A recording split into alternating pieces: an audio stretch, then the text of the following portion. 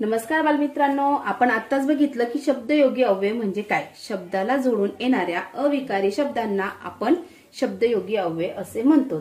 या घटकावर प्रश्नांचा सराव आपण अभ्यासणार आहोत. प्रश्न क्रमांक एक.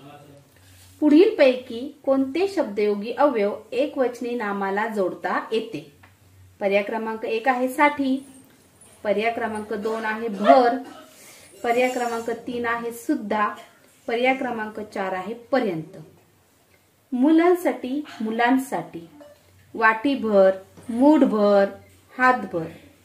मुलं सुद्धा मुलांसुद्धा. पर्यंत. मुलंपर्यंत मुलांपर्यंत. म्हणजेच काय? पर्याय क्रमांक एक पर्याय क्रमांक तीन पर्याय क्रमांक चार.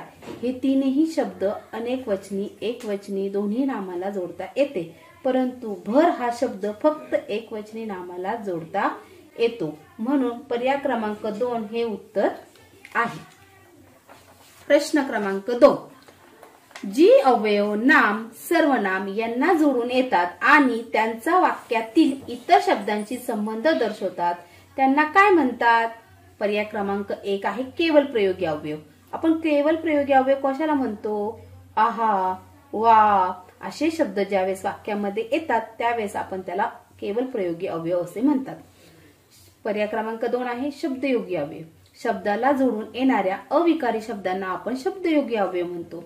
पर्याय क्रमांक तीन आहे क्रियाविशेषण अवयव. एखादी क्रिया घडत असेल त्यावेळेस आपण त्याला क्रियाविशेषण अवयव म्हणतो. पर्याय क्रमांक चार उभयान्वयी अव्यय उभयान्वयी अव्ययमध्ये या वाक्यामध्ये किंतु परंतु आणि व यांसारखे शब्द असतात. म्हणजे पर्याय क्रमांक दोन हे उत्तर आहे की जी अवयव नाम सर्वनाम यांना जोडून येतात आणि त्यांचा वाक्यातील इतर शब्दांशी संबंध दर्शवतात त्यांना आपण शब्दयोगी अवयव असे म्हणतो. प्रश्न क्रमांक तीन. खालील वाक्यात योग्य शब्दयोगी अवयव वापरा. विज्ञान प्रयोगशाळेत राजू साहित्या डॅश डॅश पोहोचला. पर्याय क्रमांक एक आहे येऊन. पर्याय क्रमांक दोन आहे जाऊन. पर्याय क्रमांक तीन आहे पैकी. पर्याय क्रमांक चार आहे जवळ. विज्ञान प्रयोगशाळेत राजू साहित्या येऊन पोहोचला. विज्ञान प्रयोगशाळेत राजू साहित्या जाऊन पोहोचला. पैकी विज्ञान प्रयोगशाळेत राजू साहित्यापैकी पोहोचला. पर्याय क्रमांक चार जवळ. विज्ञान प्रयोगशाळेत राजू साहित्यात जवळ पोहोचला. म्हणजेच काय? जवळ हे अर्थपूर्ण वाक्य तयार होत आहे. प्रश्न क्रमांक चार. खालील अधोरेखी शब्दाची जात ओळखा. वाक्य आहे डोंगरा पलीकडे मंदिर आहे. या वाक्यामध्ये पलीकडे हा शब्द अधोरेखित केलेला आहे.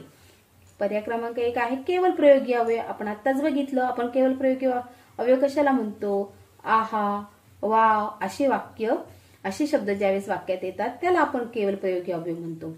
उभयन्वयी अवयव म्हणजे कोणते? आणि किंतु परंतु ज्यावेळेस हे शब्द वाक्यामध्ये येतात त्यावेळेस आपण त्याला उभयन्वयी अवयव म्हणतो.